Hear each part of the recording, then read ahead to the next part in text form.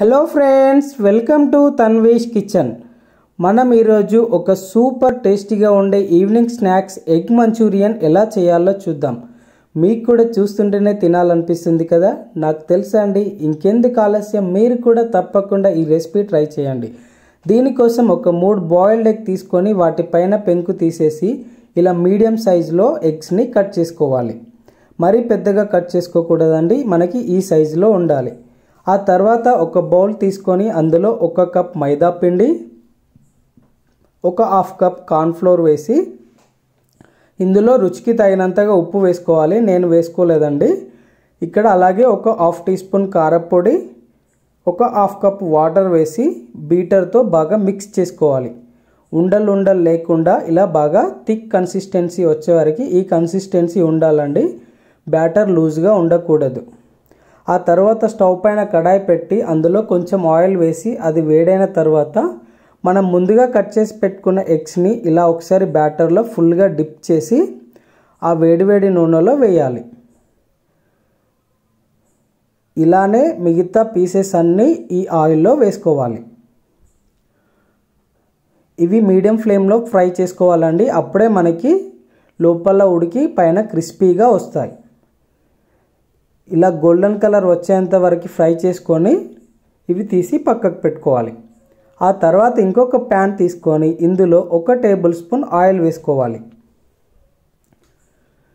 ఇందులో ఒక నాలుగైదు వెల్లుల్లిపాయలు ఇలా కట్ చేసి వేసుకోవాలి. అలాగే ఒక పచ్చిమిర్చి సన్నగా కట్ చేసి వేసుకోవాలి. అలాగే ఒక చిన్న ఆనియన్ని కూడా చిన్నగా కట్ చేసి వేసుకోవాలి. ఇప్పుడు ఇవి దూరగా ఒక టూ మినిట్స్లో ఫ్లేమ్లో ఫ్రై చేసుకోవాలి.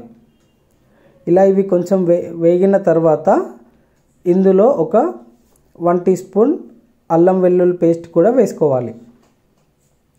ఇది కూడా వేసుకొని ఒకసారి బాగా మిక్స్ చేసుకోండి. చాలా చాలా టేస్టీగా ఉంటుందండి. ఇప్పుడు ఒక tablespoon tomato sauce one teaspoon green chilli sauce one teaspoon red chilli sauce అలాగే one teaspoon soya sauce అలాగే వన్ టీ స్పూన్ వెనిగర్. ఇలా ఇవన్నీ వేసి ఒక్కసారి మంట హై ఫ్లేమ్లో పెట్టి ఒక వన్ మినిట్ బాగా ఫ్రై చేసుకోండి. అప్పుడు మనకి చాలా టేస్టీగా ఉంటుందండి. ఆ తర్వాత ఒక కప్లో వన్ టీ స్పూన్ వరకు కార్న్ఫ్లోర్ తీసుకొని అందులో ఒక టేబుల్ స్పూన్ వాటర్ వేసుకోవాలి. మరీ ఎక్కువ లూజ్గా చేయొద్దండి ఇది. మరీ ఎక్కువ కూడా వేయకూడదు. ఇలా కొంచెం వేసి వన్ టేబుల్ స్పూన్ వాటర్లో ఒక టీ స్పూన్ కార్న్ఫ్లోర్ వేసి ఇలా మిక్స్ చేసి ఈ ప్యాన్లో వేసుకోవాలి. ఇప్పుడు ఒకసారి బాగా కలుపుకున్న తర్వాత మనం ముందుగా ఫ్రై చేసుకున్న ఫ్రై ఎగ్స్ని ఇందులో వేసి ఈ ఎగ్స్కి ఈ సాసెస్ అన్నీ పట్టే విధంగా ఒకసారి బాగా మిక్స్ చేసుకోండి. ఒక టూ మినిట్స్ హై ఫ్లేమ్లో ఇలా ఫ్రై చేసుకున్నారంటే అస్సలు సూపర్ టేస్టీగా ఉంటుందండి. ఆ తర్వాత ఇలా స్ప్రింగ్ ఆనియన్స్తో గార్నిష్ చేసి ప్లేట్లోకి తీసుకొని సర్వ్ చేసుకుంటే ఉంటుంది. ఒక్కసారి తింటే కానీ తెలియదండి తప్పకుండా మీరు కూడా ట్రై చేసి మీ ఫ్రెండ్స్కి మీ ఫ్యామిలీస్ అందరికీ షేర్ చేయండి. మరి ఇంకెందుకు ఆలస్యం? సబ్స్క్రైబ్ చేయండి. అలాగే పక్కనున్న బెల్ బటన్